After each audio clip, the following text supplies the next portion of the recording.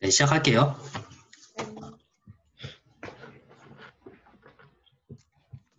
일단 저번에 그 패셔니스타에 대한 마스칼 CNN 적용하는 거 그거 해서 다시 좀 더 정리한 다음에 그 다음에 깃허브에 올렸어요. 근데 일단 그 깃허브에 올리는 게 그 뭐지? 이게 제가 캡을 잘 몰라서 그런지 몰라도 이거를 마치 깃 클론처럼 이게 안 되더라고요. 그래서 모든 것들을 다 올릴 필요가 없나 해가지고 일단은 이 IPYMB 파일 하나만 올리긴 했어요. 혹시 그거 이따가 알고 계시면 말씀해 주세요. 그래서 그 저번에 남유진님이 말씀하셨던 것처럼 그거 하니까 확실히 되더라고요. 그 이제 체크가 되고 해서 일단 시작해봤습니다. 일단은 어 저번에서 좀, 다, 좀 추가적인 내용들을 기준으로 아, 그 중점으로 해서 설명을 드릴게요. 어, 대부분 다 비슷하고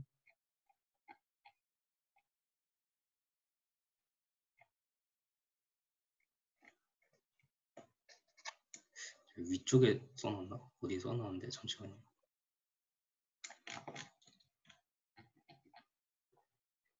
아, 네. 그 이거 Fashionista dataset을 들어가 보면 설명이 돼 있어요. 그 저번에 46개 카테고리인데 뭐 92번 이게 뭐 90 몇 번 이게 뭐냐 해서 봤더니 보면 여기 기준이 있어요. 그 일단 46개 object가 있는데 이거는 27개의 주요한 아이템과 이제 19개 뭐, 뭐 무슨 파트라고 써 있는데 정확한 그 명, 뭔지는 잘 모르겠고 어쨌든 이거를 비교하려고 한다는 거죠.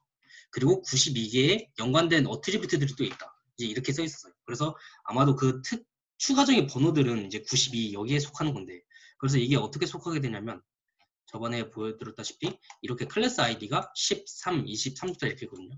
그래서 이거 봤을 때 맨 앞에 부분이 그 46개에 해당되는 거였어요. 그래서 이걸 사용하는 게 맞습니다. 그리고 그 외의 것들은 보면 이제 92번 이하로 다 돼 있죠. 그래서 그거에 대한 추가적인 것들 그런 것들이 이제 포함이 되는 거였어요. 그래서 어, 이렇게 이루어져서 46번까지 있었다. 그래서 그게 실제로 이제 카테고리 아이디는 클래스 아이디의 첫 번째 것만 가져오기 때문에 어, 큰, 큰 문제가 없다라는 겁니다.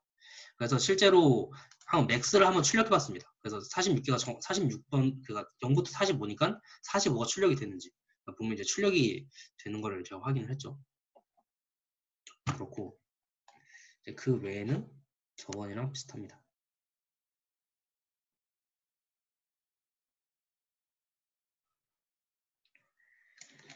그래서 트레인을 이제 실제로 해보니까 트레인이 잘 됐어요. 그래서 봤을 때 그 처음에는 이게 보니까 그, 그, 이제 그것까지 확인해 봤어야 되는데 시간상 잘 못 보긴 했어요. 그 learning scheduler, scheduler에 대해서 확인을 해봐야 되는데 이제 그건 잘 못 해봤고 그 일단은 어쨌든 처음에는 learning rate를 좀 두 배로 해서 epoch을 두 번 하고 이때 head만 학습을 하죠.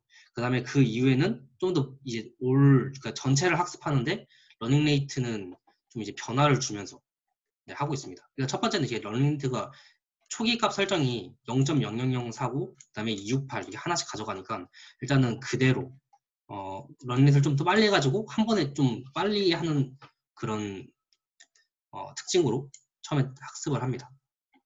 그래서 보면 자 일단은 그래서 이 모델의 헤드를 생각해 봤는데 어 이거는 제가 어 막 완벽하게 딱 이거다 하는 건 찾지를 못했어요. 근데 여기 그 Matterport의 Mask R-CNN 위키 이 부분에 보면 그냥 이렇게는 설명이 돼 있더라고요. 이거를 train을 할 때 이런 방식으로 하면 된다고 이렇게 써 있었는데 보면 모델 train에서 layers를 head라고 주면 train heads branches라고 써 있고 가장 좋은 메모리 그 다음에 뭐3 플러스 4 플러스 all 이런 식으로 좀 다른 방식 추가적인 몇 가지 옵션들이 있었어요.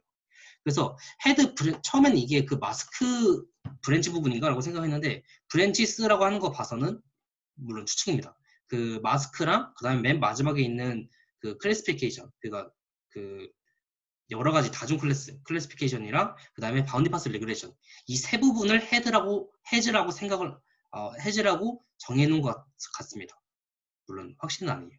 이걸 어떻게 보는 방법을 잘 모르겠어요. 근데 일단 여기에서는 설명 그게 돼 있으니까 아마도 이게 맞다고 생각을 합니다. 그래서 이게 모델의 heads 부분이다 라는 거고 what 이즈가 아닌가요? 맞 아리네요. 있을게요. 자, 어쨌든. 자, 그 다음에 로스 펑션을 확인해 봤어요. 이게, 이게 실제로 하, 다 보니까 여기 학습을 할 때 보면 여기 부분 있잖아요. 이 부분을 보면 로스, RPN 클래스 로스, RPN 바운디 파스 로스, 뭐 마스카 CNN 클래스 로스 좀 로스가 많죠. 그 다음에 밸리데이션 이거까지. 그 케이블을 적용했으니까 밸리데이션이 있는데 그래서 이게 뭔지도 해봤는데 이것도 인터넷이 있습니다. 그 인터넷은 밑에 출처에 있고 그래서 RPM 클래스 로스랑 RPM 바운드 파스 로스 이거 이거 대부분에 보면 그냥 우리가 기존에 알고 있는 거예요. 그래서 제가 좀 잘 설명되어 있는 그림을 가져와서 추가적인 그, 그 값들을 넣었는데 보면 처음에 이 RPM 리전 프로포즈 네트워크에서 보면 이 softmax랑 bounding box regression 두 개가 있죠. 그럼 여기를 이제 RPN class loss라고 하고 여기를 RPM 바운드 파스 로스라고 합니다. 그러니까 이거를 이것도 다 사용을 하는 거였어요. 보면.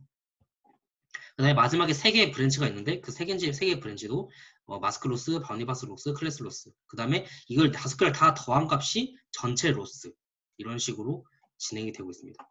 그러니까 한마디로 이건 전, 이거 이 모든 값들이 전부 다 backpropagation에 반영이 된다는 거죠.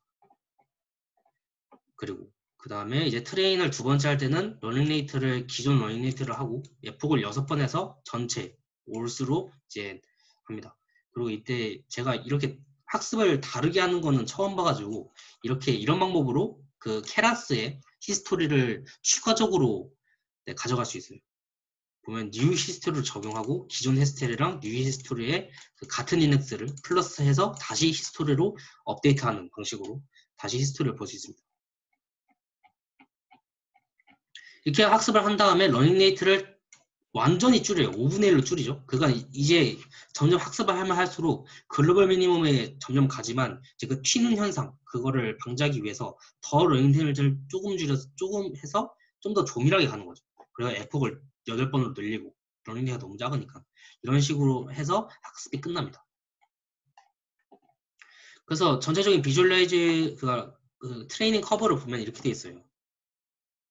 그래서 여기서는 best epoch을 출력해 보면 여기 5라고 돼 있죠. 그러니까 이 5가 그 지금 플러스를 했는데 우리는 epoch을 1, 2, 3, 4로 하지만 실제로 0부터 시작하잖아요. 그래서 여기 4라고 생각하면 됩니다.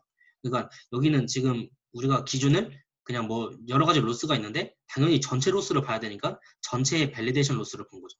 전체 validation loss에 argmin을 해봤더니 여기 이 부분이다. 지금 4부분.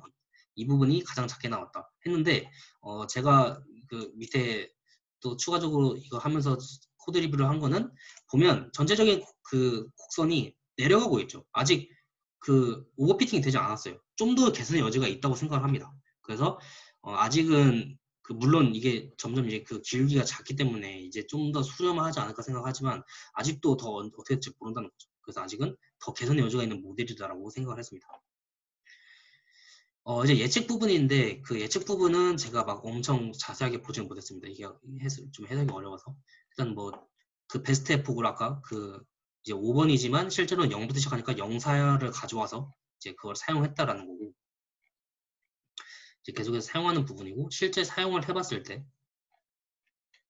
자, 이런 이미지들 보면 근데 생각보다 그 디텍션은 잘하지만 세그멘테이션을 잘 못하죠. 여기도 이게 왜 이 전체 옷은 디텍션을 하지 못했을까 하는 것도 있고 이것도 뭐 이게 팔 이거 솔직히 의미가 있는지 없는지 모르겠어요. 이게 신발은 잘 됐지만 이거 이거랑 이런 이거는 좀 잘 된 것 같아요. 그 다음에 이것도 이거 옷은 안 됐죠. 그리고 이거 가방인데 sleeves라고 또 잘못돼 있고 어쨌든 이게 그렇게 엄청 그 뛰어난 성능이다라고는 제가 그게 체감하지는 못했습니다. 네. 그래서 좀 그게 좀 아쉬웠고 어, 추가적으로 제가 잠깐 놓친 게 있는데 그 질문 제가 궁금한 것 중에 하나가 여기 masking하는 부분이 있어요. 그 트레이닝 전에 이제 잘 듣는지 확인하는 건데 보면 이렇게 top이나 short 같은 부분은 이게, 이게 masking이 됐으니까 당연히 이게 맞겠죠. 근데 pocket 아니면 shoe 이런 거 보면 색깔이 살짝 다르죠. 이게 어떻게 이루어지지? 라고 생각을 해봤어요. 아, 그, 그게 좀 궁금했어요. 왜냐면 우리가 이거 encoded pixel 저번에 제가 설명했을 때 어떻게 하냐면 픽셀이 있는 부분의 시작점과 그 다음에 개수 이 정보밖에 없거든요. 그러면 어떤 신발이 한 짝이고 다른 짝인지에 대한 정보는 없어요. 그럼 이거는 그래서 이게 왜 이게 다른 색깔로 표기가 가능하지? 라는 게 좀 제 그 의문이었습니다. 이렇게 신발 이렇게 한 짝으로 있는 것들은 이게 슬립도 보면 한 짝으로 있는 것들은 색깔을 다르게 표시를 해놨더라고요. 해놨더라고요. 그래서 이거는 아마도 좀 내부적인 부분을 봐야 하는지 봐야 한다고 생각합니다. 그래서 이게 궁금하다고 써놨습니다. 이렇게 해서 지난번의 것들을 네, 마무리를 했습니다.